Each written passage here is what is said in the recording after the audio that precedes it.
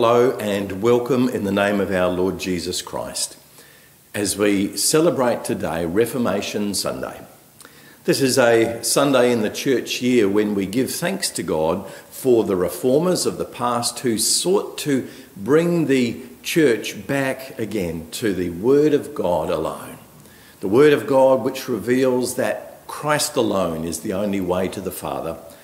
The Word of God which reveals that it is by God's grace alone that we are saved, and we receive this gift from God through faith alone.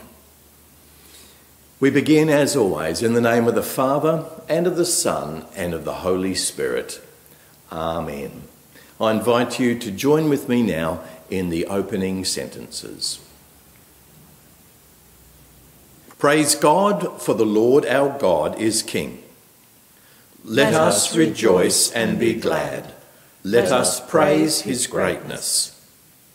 Holy, holy, holy is the Lord God Almighty, who was and is and is to come. Worthy is Christ the Lamb who was slain, to receive honour and glory and praise. He loves us and has freed us from our sins by his blood and has made us to be a kingdom and priests to serve his God and Father. To him who sits on the throne and to the Lamb be praise and honour and glory and power for ever and ever. Amen.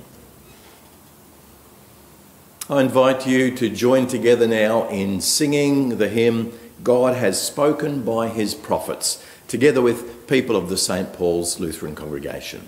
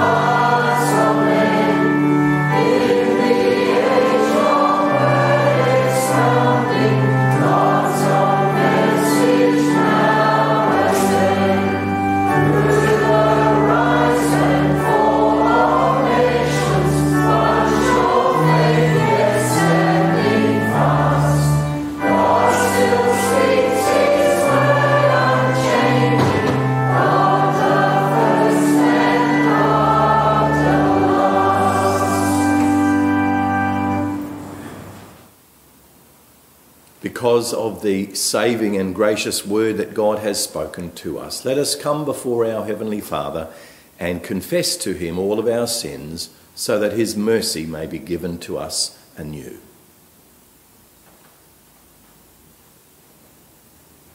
Most merciful God, we confess to you and before one another that we have sinned against you in our thoughts, words, and actions we have not loved you with our whole heart, and we have not loved our neighbour as ourselves. For the sake of your Son, Jesus Christ, have mercy on us. Forgive us, renew us and lead us, so that we may delight in your will and walk in your ways to the glory of your holy name. Amen. As a called and ordained servant of the word, I announce the grace of God to all of you. On behalf of my Lord Jesus Christ and by his command, I forgive you all your sins in the name of the Father and of the Son and of the Holy Spirit. Peace be with you. Amen. The Lord be with you. And, and also with you. Let us pray. Lord God, you have given all holy scriptures for our learning. Lead us to hear them, read, note, learn, and inwardly digest them. Encourage and support us by your holy word so that we may always hold on to the joyful hope of eternal life which you have given us in our Saviour Jesus Christ. For he lives and reigns with you and the Holy Spirit, one God, now and forever. Amen. Our first Bible reading for today is written in Romans chapter 3, beginning at verse 19. Now we know that whatever the law says, it speaks to those who are under the law, so that every mouth may be silenced and the whole world may be held accountable to God. For no human being will be justified in his sight by deeds prescribed by the law. For through the law comes the knowledge of sin. But now, apart from law, the righteousness of God has been disclosed and is attested by the law and the prophets the righteousness of God through faith in Jesus Christ for all who believe. For there is no distinction, since all have sinned and fall short of the glory of God. They are now justified by his grace as a gift, through the redemption that is in Christ Jesus, whom God put forward as a sacrifice of atonement by his blood, effective through faith. He did this to show his righteousness because in his divine forbearance he had passed over the sins previously committed. It was to prove at the present time that he himself is righteous and that he justifies the one who has faith in Jesus. Then what becomes of boasting? It is excluded. By what law? By that of works? No, but by the law of faith. For we hold that a person is justified by faith apart from works prescribed by the law. This is the word of the Lord. Thanks be to God. Our second reading today, uh, the Gospel reading, which is also our sermon text, is written in Mark chapter 10, beginning at verse 46. They came to Jericho. As he and his disciples and a large crowd were leaving Jericho, Bartimaeus, son of Timaeus, a blind beggar, was sitting by the roadside. When he heard that it was Jesus of Nazareth, he began to shout out and say, Jesus, son of David, have mercy on me. Many sternly ordered him to be quiet, but he cried out even more loudly, Son of David, have mercy on me. Jesus stood still and said, Call him here. And they called the blind man, saying to him, Take heart, get up, he is calling you. So, throwing off his cloak, he sprang up and came to Jesus. Then Jesus said to him, What do you want me to do for you? The blind man said to him, My teacher, let me see again. Jesus said to him, Go, your faith has made you well. Immediately he regained his sight and followed him on the way. This is the gospel of the Lord. Praise, Praise be to you, O Christ. Let us now confess our faith in the words of the Apostles' Creed. I believe in God, the Father Almighty, maker of heaven and earth, and in Jesus Christ, his only Son, our Lord, who was conceived by the Holy Spirit born of the Virgin Mary, suffered under Pontius Pilate, was crucified, dead, and buried. He descended into hell. The third day he rose again from the dead. He ascended into heaven and sits at the right hand of God the Father Almighty. From thence he will come to judge the living and the dead. I believe in the Holy Spirit, the holy Christian Church, the communion of saints, the forgiveness of sins, the resurrection of the body, and the life everlasting. Amen. I was a spectator at a football match in Adelaide about 30 years ago, and I was getting really frustrated that the numbers on the scoreboard were not big enough to be seen clearly. So I complained to my brother who was with me, and he didn't seem too worried about it. And I couldn't understand why don't they just make them bigger? And this was in the days before the electronic scoreboards. So I insisted that it was a problem, and I asked a few other people who were sitting nearby, and they all said to me that it was fine. And then it hit me. It was my eyes that were the problem. So a few weeks later, I saw the optometrist, and I've been wearing glasses ever since.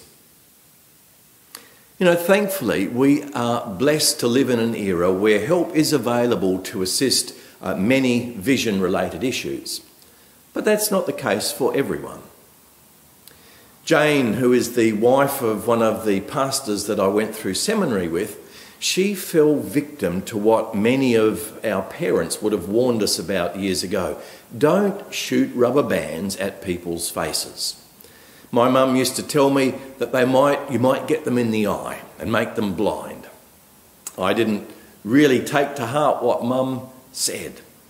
But it apparently happened to Jane in primary school. Someone shot her in the eye with a rubber band. And not only did she completely lose her sight, but she actually lost her eye as well, and she's had to have a glass eye ever since. Our eyes and our eyesight are extremely precious to us. You know, the thought of being totally blind is a, is a frightening one. And to become blind in the first century, at the time of Jesus and Bartimaeus, there were far more grave consequences than today. At least today, there are still some opportunities for those who are visually impaired that were never available before. The Braille language means that those who are blind can read and write. Guide dogs means that there is some mobility and independence available. There is audio books for learning and government assistance available, and, and some are able to still continue employment. You know, in fact, I worked with a Lutheran pastor who was uh, totally blind. Sport and leisure opportunities are still available for some of those who are able to do so. And I think of Gerrard Gosens, who was a, a, pl- a blind para Olympian who appeared a few years ago on Dancing with the Stars. But in the time of Bartimaeus, there was no work for those who were blind. You can't have a blind shepherd, you can't have a blind carpenter. And there was certainly no welfare system. So if you were blind, you were totally dependent on the goodwill and the generosity of others.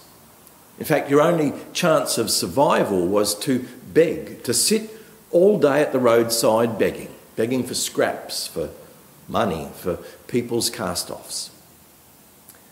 So, in the first century, blindness was like a prison sentence, a sentence of hopelessness and a life of being destitute. And you can picture blind Bartimaeus sitting just outside Jericho on the road to Jerusalem, and he sits there and he listens. I'm told that when one of our senses is lost, that other senses often become more developed. And so listening is how he would have spent most of his day listening to the people walk by and their gossip, listening to the chatter of children, listening to the sounds of animal hoofs and the rumble of carts, and wishing he could be mobile and make and sell things. Listening to the comments of disgust and derision. People at that time thought that blindness was a, a judgment from God. But perhaps the hardest thing to listen to may have been listening to himself, his own thoughts of hopelessness, the dark prison in which he was trapped. And yet, somehow, despite these limitations, he had somehow heard about the man from Nazareth, the man who heals and forgives people their sins, the man who claimed to be sent by God the Father and claimed to be the only true way to the Father. He had heard about the man who promises life, the one who claimed that he would be crucified and then raised in three days. And no doubt what he had heard had given him hope. Well, on this particular day, there is a large crowd that's travelling with Jesus. In fact, it's the exact same crowd that's heading with him towards Jerusalem. It is the start of the Palm Sunday crowd that will grow in time as he nears Jerusalem. And so, for this blind man, he's got just one shot with Jesus. And so he sings out, Jesus, son of David, have mercy on me. He shouts, he screams out, it's a desperate cry. And of course, many in the crowd, they're embarrassed by him. They want him to be quiet. They hope he'll go away. And so we read in the text that they tell him, in essence, to shut up, and they do it with strong disapproval, with threat even. But he isn't deterred. He shouts out even louder Son of David, have mercy on me. Even greater desperation in his cry. And then the king of creation stops and he invites Bartimaeus to come to him. Bartimaeus throws off his cloak. Some have said it's symbolic of his throwing off of everything that he had, and he springs to his feet and he looks to Jesus with eyes of hope and faith. And a miracle takes place a healing and saving miracle as Jesus graciously makes him part of his family. And Bartimaeus then follows Jesus as his disciples, as his disciple, and with clear vision. You know, it's interesting that even though he was blind, Bartimaeus could see far more clearly than nearly everyone on that road. He could see through the eyes of faith that in this man from Nazareth was all of God's promises fulfilled. The hope of the world was wrapped up in this man. I'm sure many of you have heard of Helen Keller, the famous author, lecturer, and political activist who was completely blind and deaf from about 19 months uh, of age onward. Happened through a disease that she contracted. But with the help of her teacher, Anne Sullivan, she defied all the obstacles and she became the first deaf and blind person to ever earn a Bachelor of Arts degree at university. She won the admiration of her generation around the globe. And she led a very public life. She was an advocate for many social issues. And in her work, she made friends with many famous figures from Alexander Graham Bell, Charlie Chaplin, and Mark Twain. She was granted audiences with every US president that lived during her lifetime, which was a long one. 13 different presidents invited her to the White House. And somebody once asked Helen Keller, Is not blindness the worst handicap a person can have? And she responded with something incredibly profound. She said, No, it is far worse to have eyes and not be able to see. Jesus said, Though you have eyes, don't you see? And though you have ears, can't you hear? You see, you can have all of the earthly successes, possessions, and lifestyle, and power, and popularity, and yet be totally blind to the spiritual realities and the, the truth, gift of God. You can have the greatest mind and intellect, and yet be totally oblivious to the mysteries of God and the profound enormity of our spiritual need without God. I read about a man who once stood on a soapbox in Hyde Park in a corner there at London, mocking Christianity and everything that it stands for. And he boldly declared, he said, People tell me that God exists, but I can't see him. People tell me that there is a life after death, but I can't see it. People tell me that there is a heaven and a hell, but I can't see them. And so he finished his rant and he won some cheap applause and he climbed down from his little pulpit. But then another man struggled up onto that same soapbox. And he said, People tell me that there is green grass all around, but I can't see it. People tell me that there is blue sky above, but I can't see it. People tell me that there are trees nearby, but I can't see them. You see, I'm blind. The point is this that just because someone is not able to see something, it doesn't mean that it's not real, that it doesn't exist, that it doesn't affect us. And it always staggers me that the people who saw Jesus with their own eyes, that they, they saw his miracles and yet they didn't believe or trust, as did Bartimaeus. You see, the real issue for many people is spiritual blindness. Or all they saw was the, the possibility of a full tummy of bread or some medical help or the fulfillment of their political hopes. Yet they failed to see that their whole life, their eternal destiny, is in His hands, together with all the eternal consequences, both positive or negative. I wonder, what do you see when you look at Jesus? Do you see a defeated, sad figure dying a pathetic death on a barbaric wooden cross? Or do you see God in the flesh dying for you personally, taking away your sins, restoring you to the Father, giving to you true life? What do you see? Do you see the one who said and taught some profound things, and he certainly did that? The one who gave a wonderful example of compassion and wisdom, and he did that too. Or do you see your Saviour and your Lord? The all powerful Son of God, suffering in your place out of love for you? Do you see Jesus calling you to a life of discipleship, to follow him in the way of the cross? You know, though physically blind, we can learn an awful lot from Bartimaeus and what he saw through the eyes of faith by looking at what he said on that day. Firstly, he cried out, Son of David. Now, that was a messianic term. It means the one anointed and promised by God. So, to call Jesus by this name, it's an expression of faith and of trust. Secondly, he called him rabbi, or in the original Aramaic, rabboni. It's a title of honour for a teacher who is above others. It's the same word that Mary used after the resurrection, and it implies a personal relationship with this teacher, signifying that it is my teacher. It's an emphatic form of the word, meaning it this is my master, my Lord. And then, thirdly, he said, Have mercy on me. In other words, I have nothing to offer to you to win your love or earn your favour, but I trust everything that I need that you will provide. As Martin Luther once said famously, we are beggars, it is true. We are beggars, it is true.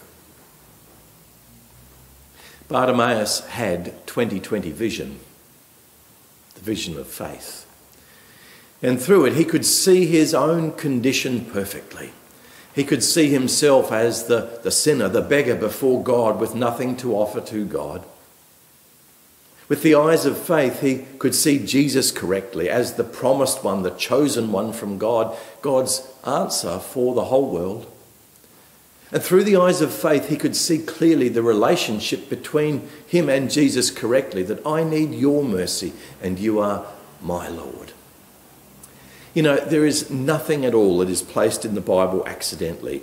It's not just a coincidence that this Bartimaeus story comes immediately after some discussions between Jesus and his disciples. And Jesus, in fact, asks the exact same question of both the disciples and of Bartimaeus. He says to both of them, What do you want me to do for you? I wonder how you would answer that question when Jesus asks it of you, What do you want me to do for you? Well, there are two different responses that we read about in Scripture. The disciples, they were looking for places of honour and privilege. But Bartimaeus simply begs for mercy. And so the response to this question says an awful lot about what true discipleship is. Because true discipleship falls at the feet of Jesus and says, Have mercy on me. Being a disciple of Jesus is not about overcoming all of life's obstacles and fulfilling our potential and having spiritual successes and glory. Discipleship is subjecting oneself daily to the mercy of Christ, throwing ourselves on Him and looking to the cross where He won victory for me being a disciple is acknowledging my utter helplessness, admitting my spiritual blindness, and then receiving the welcome, the love, the forgiveness of the living God who is mercy personified. Receiving the God who wants to bless us, the God who is on our side and working for our good. There was an elderly woman who stood on a busy street corner and she was a bit hesitant to cross because there was no traffic signal. And as she waited, a gentleman came up beside her and asked her, May I cross over with you? Feeling relieved, she thanked him and she took hold of his arm, ready to cross the street. But the path that they took was anything but safe. The man seemed rather confused. He walked in a zigzag pattern, he dodged his way through the traffic. When they finally reached the curbing on the other side of the street, the woman exclaimed in anger, You almost got us killed. You walk like you're blind. Well, I am, he replied, and that's why I asked if I could cross with you.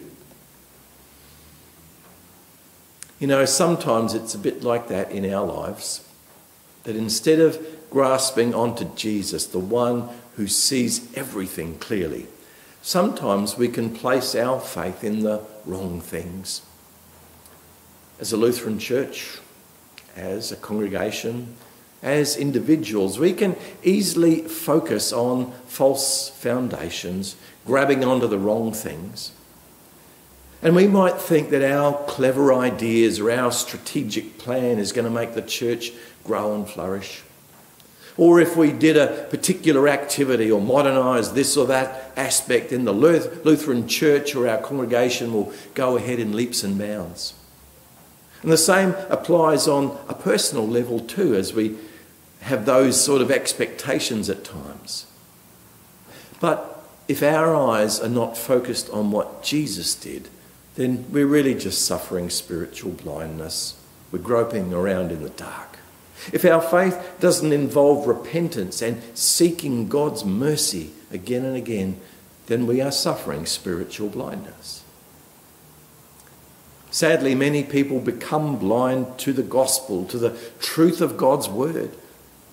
But that is why Christ has come into our darkness, come into our brokenness, into our fumbling in the dark and our blindness to give us true sight, to give us true hope to bring light into our world, to give us a future, to bring salvation and freedom. And all of it, it is a pure gift of His grace alone. I pray that God would give to you 2020 vision, that you would be able to see things clearly through the eyes of faith, that you would recognize your complete dependence on God for all things to understand that we are actually beggars before God. That you would see your salvation is tied up in the wounded, crucified Christ of Calvary, and that you would see each other as God sees us, worthy of love and in need of His grace too. And then I pray that you would see yourself as God sees you, precious, of infinite worth, and loved beyond imagination desperately in need of His grace. Let us pray. Let us pray with eyes closed as Bartimaeus sung out to Jesus for help. Heavenly Father, we have seen the Christ and we believe in him and through him. Keep us from unbelief. Protect us from growing blind to your work in our life and the world. Help us to see you, to see ourselves, and to see others clearly with the eyes of Christ. Continually send your Holy Spirit to give us faith to live as your disciples, trusting in the amazing grace that Christ won for all people on the cross. Amen. Please join together now in singing, A Mighty Fortress is Our God.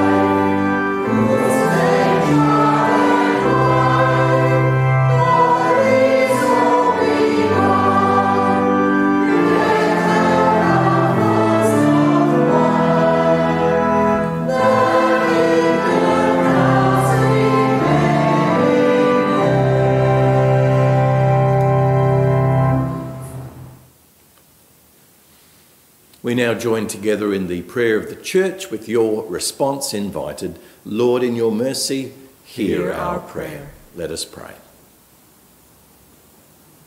Almighty and eternal God, we thank you for the many blessings of body and soul which you have given us, although we have not deserved them. Above all, we thank you for preserving your saving word and the holy sacraments. Keep the teaching of the gospel pure in your church throughout the world, and give us faithful pastors to preach your word with boldness and power. Lord, in your mercy, hear, our, prayer. Help all who hear the word to understand and believe.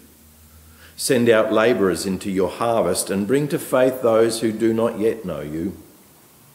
Have mercy on the enemies of your church so that they may repent and live. Protect your church in all trouble and defend it against all danger. Lord, in your mercy, hear, our prayer.